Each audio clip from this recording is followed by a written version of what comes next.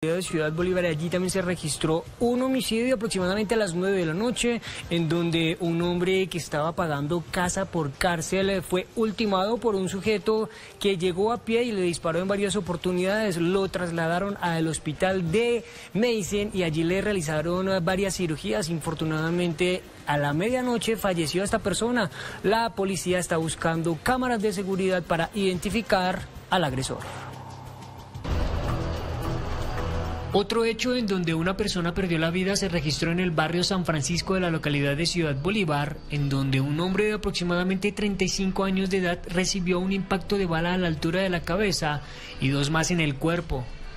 Según las autoridades, la víctima cumplía una condena en casa por cárcel por diferentes delitos. Esta es una persona que se encontraba con prisión domiciliaria, se encontraba hacia las afueras de su residencia eh, cuando llegan los sujetos y lo ultiman. La comunidad que se dio cuenta de lo que estaba ocurriendo llamó al cuadrante que llegó en cuestión de minutos y trasladó al hombre al hospital de Meissen en donde los médicos le realizaron una operación.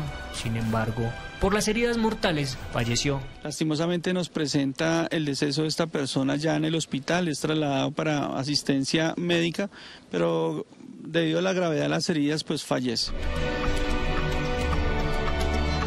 La policía busca cámaras de seguridad que lo lleve al autor del crimen. Ya, como le indico, tenemos también un grupo de policía judicial y de inteligencia y patrullas de vigilancia que están recolectando todo el sistema de biovigilancia y eh, testigos presenciales de este hecho con el fin de dar con el paradero y establecer el modo, tiempo, lugar de este hecho. Investigadores de la SIGIN llegaron al sector para recolectar todas las pruebas, puesto que al parecer el hombre tenía amenazas hace algunos meses.